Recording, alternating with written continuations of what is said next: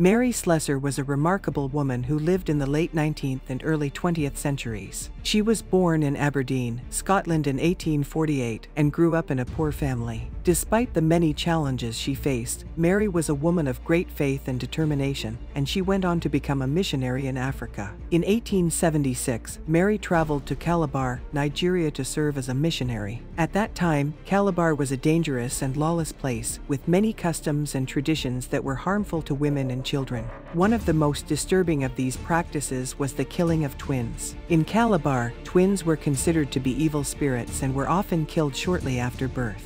This practice had a devastating effect on families and communities, and it was a problem that Mary was determined to address. Mary's first encounter with the killing of twins came shortly after she arrived in Calabar. She witnessed a woman being dragged away by a mob because she had given birth to twins. Mary followed the woman and found her tied to a tree, with the twins lying on the ground beside her. Mary knew that she had to act quickly, so she gathered up the babies and took them to her home. Over the next few years, Mary continued to rescue twins who were at risk of being killed. She would take them into her home, care for them, and raise them as her own children. She also began to speak out against the practice of killing twins, and she worked to change the attitudes and beliefs of the people in Calabar. Mary's efforts were not always successful, and she faced many challenges along the way. Some people in Calabar saw her as a threat to their traditions and beliefs, and they did everything they could to stop her. But Mary remained steadfast in her mission, and she eventually won the respect and admiration of the people in Calabar.